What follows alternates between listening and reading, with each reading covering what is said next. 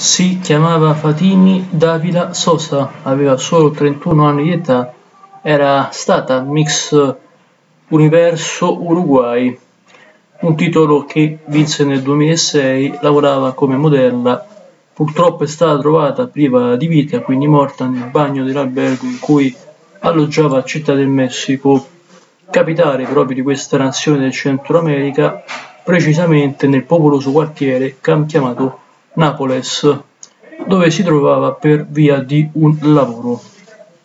Era anche abbastanza famosa in Messico, non si sa se si può parlare di un suicidio di un omicidio, la polizia sta cercando di indagare per capire esattamente come sarebbero andate le cose.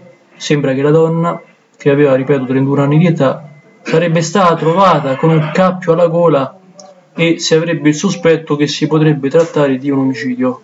Ad allertare le autorità sarebbe stato il personale dell'albergo che ha visto il cadavere della donna in camera durante la pulizia delle camere, della camera.